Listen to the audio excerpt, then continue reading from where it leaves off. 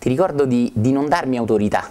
No? Io sono qui che faccio un po' il chiacchierone, ma ti ricordo che la cosa importante è vedere la praticità, lo strumento di quello che facciamo. Qui nessuno vuole convincere qualcun altro, si tratta invece di offrire liberamente, per chi è pronto e per quanto tu sia pronto, degli strumenti capaci di cambiare te e di conseguenza il mondo intorno a te. Quindi uno strumento potentissimo di cambiamento è semplicemente la tua comprensione. Come sempre mi piace dire, tu non puoi vedere una persona che zoppica e che ti dice no, no, ma io so come camminare. Il momento in cui una persona sa camminare, non zoppica. E questa persona non penserà neanche a camminare bene. Questa, cari amici, lo ripeto, è la magia della comprensione, che non è semplicemente capire qualcosa, ma è comprendere qualcosa. I grandi maestri, tra cui il grande Buddha, hanno chiaramente insegnato questo. Non si tratta tanto di capire qualcosa, capire può essere il primo livello, no? Ma si tratta poi di portare quel capire a un livello più di pancia, che diventa più comprensione. Allora l'esempio è molto semplice. Io zoppico sapendo che potrei camminare bene, ma nel momento in cui comprendo come camminare, istantaneamente cammino bene. Quindi in maniera molto semplice cerchiamo di vedere la grandissima differenza tra capire una cosa soltanto mentalmente, soltanto razionalmente, e comprendere una cosa, il che ha a che fare con realizzare quella cosa e la verità che vi è dietro, in quanto esperienza personale. Quando una comprensione è tua, nessuno te lo può più togliere. Faccio un semplice esempio. Io ora mi posso impegnare in tutti i modi per farti avere paura del buio. E e voglio convincerti che tu non puoi dormire al buio. Jack ancora ha questa paura, ok, ma in generale dicono, eh, esatto, le teniamo accese per Jack. In generale, venite, venite anche, cercate un posto. In generale, se tu da bambino, non so a quale età, no, ma a un certo momento della tua età, hai superato la paura di dover dormire con una luce accesa, se tu in qualche momento a 6, a 8, a 10, a 27 hai superato questo, se tu veramente hai superato questo, non perché tua mamma ti ha spento la luce forzatamente, che vuol dire non superarlo, cari amici, ma tu a un certo momento hai fatto un click interiore e hai superato improvvisamente il bisogno di dormire con delle luci accese.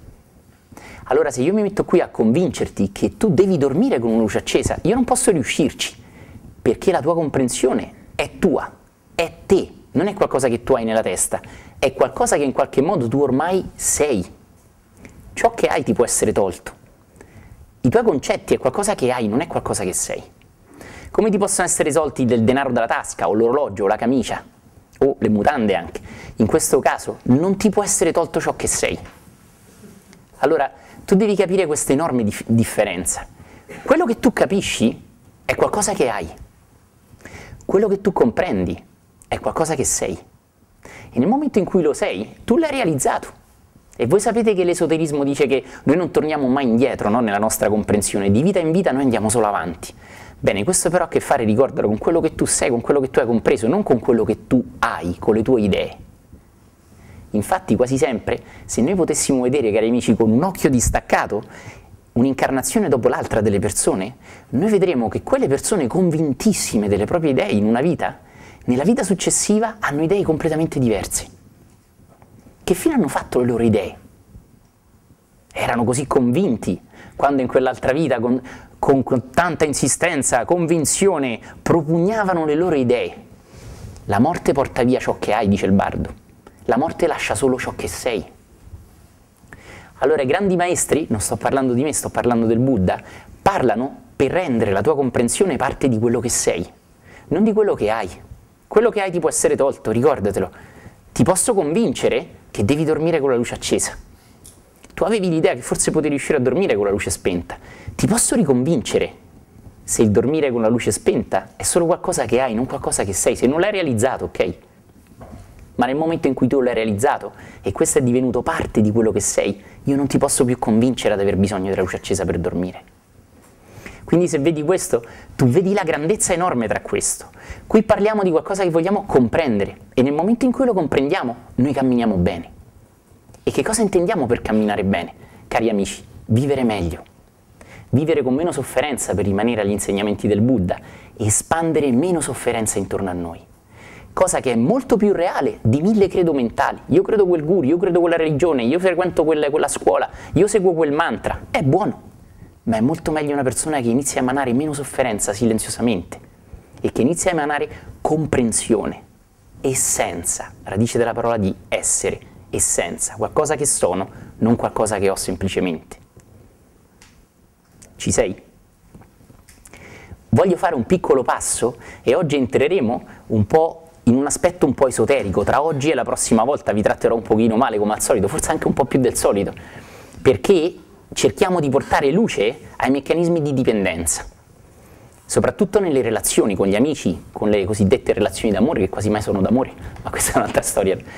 E vorrei iniziare parlando, oggi siamo vicini alla Pasqua, no? che siamo in tempo di Quaresima e vorrei eh, parlare un po' di questa cosa, scena fortissima, potentissima, una delle più forti mai accadute sul pianeta, che è quell'altro grande maestro, il maestro dei maestri che è Gesù di Nazareth. No? E siamo sulla scena del Golgo, come si dice il Golgota, e siamo con Gesù crocifisso e i ladroni a fianco. Ecco, voglio dire, già che sempre la gente mi manda le mail, che io voglio solo proporre delle mie illuminazioni, diciamo così, no? delle esperienze spirituali interiori che faccio e che voglio condividere. Con questo però non pretendo che quello che dico sia così e basta. No? Quando anche parlo del Vangelo non voglio dire che un sacerdote, per esempio, che ne parla diversamente abbia torto perché ho ragione io. Più tu entri in uno stato di illuminazione, più di aver ragione non te ne frega più niente. Non ti interessa, perché tu sai che la ragione la lascerai. Allora tutta questa insistenza ad aver ragione, che te ne fai se è qualcosa che hai e che domani dovrai lasciare? Chi se ne frega dell'aver ragione? Molto più importante offrire uno strumento. Ecco, qualcuno mi diceva, tu hai parlato delle prime nobilità molto bene, ma hai tralasciato questo punto, quest'altro e quest'altro, quell'altro lama lo insegna benissimo, ma io lo so, quell'altro lama è molto più bravo di me, perché lui è un sacerdote buddista e lui deve insegnarti la dottrina, ma questo non è il mio fine. Il mio fine è semplicemente cercare di trasmettere delle illuminazioni, diciamo così, che io ho vissuto leggendo queste grandi verità e interiorizzandole. Quindi diciamo così, io cerco di trasmettere una mia esperienza e non una dottrina che di nuovo riguarda ciò che sai e quindi ciò che hai e non ciò che sei. Ma nessuno si offenda se io per esempio parlo delle nobili verità diversamente da quella chiesa buddista, da quel sacerdote, che io, cari amici, rispetto tutti, perché come ho detto l'altra volta, tutti fanno del bene e questo conta. Che importa questo? Capisci? Quindi voglio ripeterlo, anche se stai ascoltando, se stai guardando i video che con la tecnologia abbiamo, io non dico che è solo così, no? Voglio solo trasmettere, diciamo così, dei fuochi di illuminazione. Ecco, qui faccio un piccolo passo avanti e vorrei parlare appena velocemente, esotericamente, dell'aspetto femmineo e maschile in noi. Allora, noi spesso sentiamo, no? non voglio scendere troppo nelle definizioni, cioè, le trovate ovunque, ci sono persone bravissime nel conoscerle, nel saperle e non mi interessa neanche tanto. Tu sai, avrai sentito parlare no? del femminile in noi e del maschile in noi. Vorrei portare un po' di luce e chiarezza e semplicità in questa visione e vedere che questa è collegata a due altre parole che a volte usiamo un po' impropriamente, l'anima e lo spirito. L'anima voi forse ricorderete Psiche, no? Eros, queste cose meravigliose della tradizione, adesso non voglio parlarne qua, è un lato femminile di noi, è ricettivo, è il lato femminile, diciamo così, spiritualmente elevato. Il suo servitore, rimanendo un po' nel linguaggio dell'MPA, diciamo su un piano più materiale, è il nostro cuore, ovviamente non il muscolo, no? È la nostra dimensione emotiva. Mm? Lo spirito è un po' un lato maschile di noi, e questo lato maschile ha un altro servitore nel piano un po' più, diciamo, materiale, ed è il nostro intelletto. Cuore e intelletto. Allora, noi spesso sentiamo dire che tu devi mettere l'intelletto nel cuore e il cuore nell'intelletto, no? Questo a volte crea un po' di confusione e mi permetto di dire che tu piuttosto devi mettere anima nel cuore e spirito nell'intelletto. Che cosa accade a un cuore privo di anima? Cioè la parte femminile di noi diciamo così, non guidata dalla luce della comprensione. Accade che questo cuore, uso questa parola, immaturo, genera soltanto rapporti di dipendenza, non di amore, non può amare, perché l'amore viene sempre da una qualità di illuminazione spirituale. Quindi il cuore immaturo non guidato dall'anima, non genera rapporti d'amore, genera rapporti di attaccamento, genera sofferenza. Mi permetto di usare questa parola, sofferenza diciamo così più emotiva. Mm? Che cosa genera la nostra mente quando non è guidata dalla luce dello spirito, quindi diciamo il maestro maschile, no? il lato maestro dello spirito? L'intelletto non guidato dalla luce dello spirito genera giudizio e genera orgoglio. L'orgoglio è un lato tipicamente maschile. Maschile non vuol dire deve avere il pene. Capito? Quindi stai tranquillo Jack. Maschile vuol dire maschile e femminile in noi. Questo è fortissimo. Cioè il maschile in una donna e il femminile in un uomo ovviamente. Non fare questa confusione, stai attento bene. Quindi in ogni uomo c'è il maschile e il femminile. E in ogni donna vi è il maschile e il femminile il cuore di ogni uomo e di ogni donna, il lato femminile di ogni uomo e di ogni donna, se non è guidato dalla consapevolezza, se non è spiritualmente maturo, può generare solo attaccamento e chiamerà questo attaccamento rapporti di amore, amicizia, relazioni di amore, che cari amici non hanno niente a che fare con l'amore. Perché?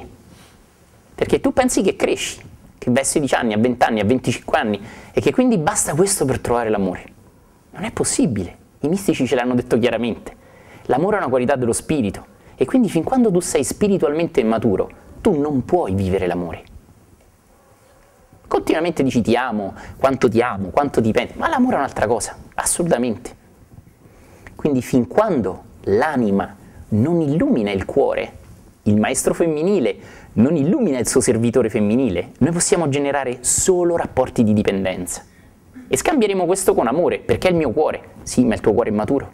Non è amore, è attaccamento, è dipendenza. Il lato maschile di me penserà di pensare, ma stai solo rimuginando pensieri privi di creatività e che tutti hanno continuamente e che ci sono stati miliardi di miliardi di miliardi di pensieri nel passato uguali a quelli.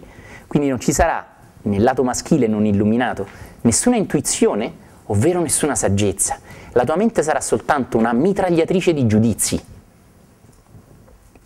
Tu pensi, sto pensando a quel fatto. No, lo stai giudicando. Non è pensiero.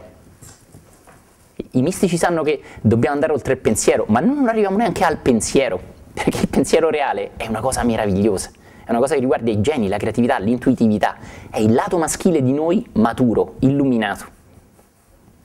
Bene. Allora fate attenzione a come questo passo del Vangelo, che sicuramente no, è una cosa anche realmente accaduta, eh. io non poi la gente mi scrive delle cose atroci, no? Uno, uno anche mi ha scritto una cosa, ah è tutto bello quello che dici tu, ma Gesù e Buddha non sono mai esistiti, va bene, ma può essere, ma io dico, vedete, ma se un Gesù non è mai esistito e qualcun altro ha detto non fate agli altri quel che non vorreste sia fatto a voi, quel qualcun altro è un grande illuminato alla fine, ma perché è così importante capire storicamente cose? Te lo dico io perché. Lato maschile, privo di spirito. Giudizio. Adesso mi bombardano, ma non fa niente. Questo devi capirlo. Cioè, stranamente, una persona che segue profondamente gli insegnamenti spirituali come strumento non dà così importanza al fatto storico. Che importa? Ma che importa se la mia macchina è stata progettata nel 1931 o nel 1938? La sta usando per andare da qualche parte. Eh, però il tuo carburatore non è mai esistito in Germania, è nato in Francia. Oh, mi fa piacere. Ma anche, ma chi se ne frega? Hai capito? Saliamo in macchina e usiamo questa automobile per andare da qualche parte quel qualche parte si chiama una vita più migliore, con meno giudizi, con più amore vero, con meno attaccamento. Che importa quale carburatore ci porta e quando storicamente è nato? Torniamo alla semplicità, torniamo a uno strumento che ci serva per vivere meglio. Non a credere alla storia, alle cose, vanno benissimo, ma rimangono nei libri. La storia impolvera nei libri. È l'esperienza che la storia ci dà che vive in noi, non la storia stessa. No? Allora siamo Gesù che sta per essere crocifisso, no? attenzione bene perché questo incredibilmente, un po' un'intuizione, si collega al lato maschile e al lato femminile e vedremo che questo è anche, non sto dicendo che è solo, è anche estremamente simbolico, esoterico, ma anche esoterico pratico come strumento, attenti bene. E poi è molto pasquale no? in tema di Pasqua, che non è solo mangiare la cioccolata delle uova ovviamente, no? usiamo i momenti di festa, sapete che le feste spirituali, il Natale, la Pasqua, sapete perché non si andava al lavoro? Perché si presupponeva che il tuo tempo libero si dedicasse alla spiritualità, alla meditazione, alla preghiera, a momenti di riflessione profonda, alla lettura del Vangelo, dei sutra. Questo è il senso delle feste religiose. Non devi dedicarti al lavoro, puoi dedicarti alla spiritualità. Questo l'abbiamo dimenticato. E noi corriamo a comprare uova di Pasqua, le colombe, a fare una panza così e ci dimentichiamo che la festa religiosa è tale se ti fa comprendere qualcosa di spirituale, no? Quindi in questo senso siamo in tempi di Pasqua, leggiamo una lettura tipicamente pasquale vediamola da un punto di vista, diciamo come, così, come strumento pratico e esotericamente. Mm? Nel medesimo tempo venivano condotti altri due malfattori, i quali dovevano essere giustiziati insieme a Gesù. Quando furono giunti sul luogo, detto cranio, Calvario, ivi crocifissero lui e i malfattori, una alla sua destra e una alla sua sinistra. Cari amici, storicamente qual è il lato maschile? Esatto, è il lato che fa, il lato che può dare un pugno, è il lato che può creare qualcosa. Qual è il lato femminile? Beh, per esclusione abbiamo due lati, non è che c'è. È il lato, è il lato sinistro, no, non è che serve proprio matematica astratta. Sempre meglio sapere. Eh, è vero, eh, sì, è buono. Perché? Allora, attenzione bene, perché il lato sinistro è considerato il lato femminile? Perché anche il lato del cuore, se tu sia cinese, giapponese, arabo, italiano, il tuo cuore è a sinistra, no? Questo anche simbolicamente è molto, è molto profondo. E guardate bene dove crocifiggono i, i, i, due ladroni. E guardate i due ladroni che aspetti oscuri hanno diversi ognuno. Vedremo il maschile e il femminile in questo passo. Attento bene. Cioè dei lati di te, che crocifiggono, diciamo così, la comprensione in te. Che non vuol dire che è solo questo, ricordatelo. Il bottoncino abbottonato col microfono, però vabbè, so carino, vabbè. Po', però... Ma Gesù diceva, Padre, perdona loro, perché non sanno quello che fanno. E si divisero le sue vesti, tirandole a sorte. Immaginate questo grande maestro che la gente non sa chi è veramente lì, no? Questo grandissimo illuminato e sotto come corvi a litigarsi la veste, no? Terribile. E lui sta sopra lì che li sta perdonando. È proprio giusto dire che li sta perdonando. Padre, perdona loro. Ci fa caso che Gesù non dice mai ti perdono. E poi c'è la gente che dice, ma nel Vangelo è scritto che devi perdonare. Nel Vangelo non c'è mai scritto, Gesù non dice mai una volta ti perdono. L'hai mai notato? Dice sempre Padre perdona loro, o va, i tuoi peccati ti sono perdonati, ma non va, ti ho perdonato. Cavolo, perché non facciamo attenzione a questi dettagli così importanti? Perché siamo un po' superficiali. Perché il lato destro, intellettuale, manca dello spirito, manca della saggezza. Allora è solo una mitragliata di giudizi e intellettualismi superficiali, però non cogliamo l'essenza profonda. Mm? Intanto il popolo se ne stava là a guardare. Terribile questa scena, no? Questa è una scena tipicamente di Pasqua, no? Della, prima di Pasqua, che è i giorni che viviamo adesso. Mentre i magistrati ridevano di Gesù, dicendo ha salvato gli altri, salvi se stesso se è il Cristo, l'eletto di Dio. Anche i soldati lo insultavano e si avvicinarono a lui per dargli dell'aceto e dicevano, se tu sei re dei giudei, salva te stesso. Vi era sopra di lui questa iscrizione in latino, in greco ed in ebraico affinché tutti lo leggessero, vedete, tutte le lingue. L'offesa doveva essere proprio totale, tutti la dovevano leggere, tutti dovevano dire, ah, che cretino che è, guarda come è ridotto male. Una lingua non bastava, che cos'è questo? corpone di dolore. Bisogno di infliggere dolore in tutte le lingue, così che ognuno la sua lingua potesse partecipare al dolore di questa persona deridendolo. Non bastava una lingua sola. Vi era sopra di lui questa iscrizione in latino, in greco ed in ebraico. Questi è il re dei giudei. Uno dei due ladroni, che era stato crocifisso, lo insultava dicendo, non sei tu il Cristo, salva dunque te e noi. Nota bene, salva te, sai che c'è, salva pure noi. Anzi, tra i due salva noi, sti cazzi, no, perché è così, no, in realtà no. Questa è la mente egoica. Io lo dico a modo mio, questa è la mente egoica. Io sono un po' volgare, scusate, ma penso che ognuno debba essere come è, non dobbiamo essere carini, dobbiamo essere veri. Vi prego quindi di accettarlo semplicemente. E se non lo accettate è perché non avete accettato dei lati di voi. Questo è fortissimo. Noi non accettiamo qualcosa negli altri solo quando non abbiamo accettato quel qualcosa simile in noi. Se tu lo accetti in te, negli altri non ti darà più fastidio. Questa è una chiave alchemica importante, ne abbiamo parlato, ricordatelo.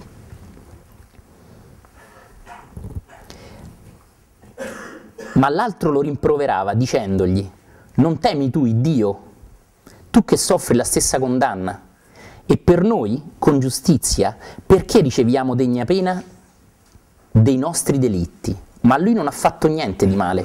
Poi soggiunse, Gesù, ricorda di me quando ritornerai nella maestà del tuo regno. E Gesù gli rispose, in verità ti dico, oggi sarai in paradiso con me.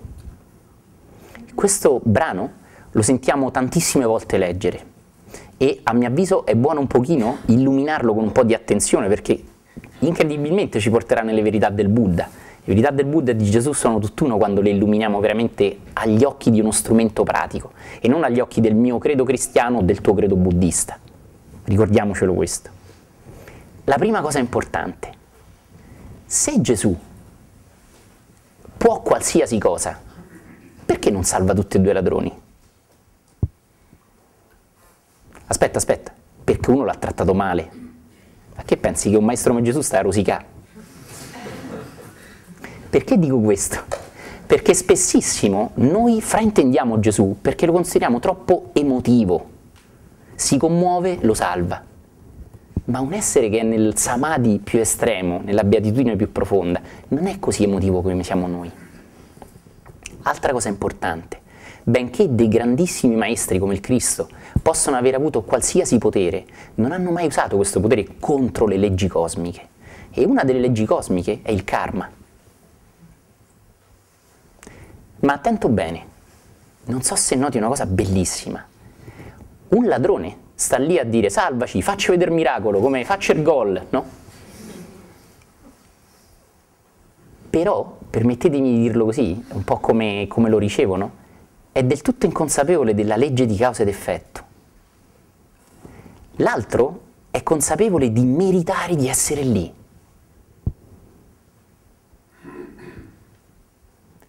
Può, in questa consapevolezza, aver accettato la sua sofferenza della croce.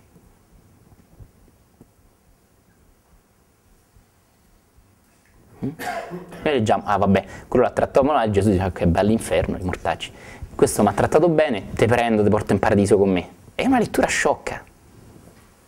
È una lettura superficiale in cui vediamo un Gesù che rosica, che è soggetto all'ego, alla personalità. In Cristo non è così. Ma perché un ladrone viene salvato e un altro no?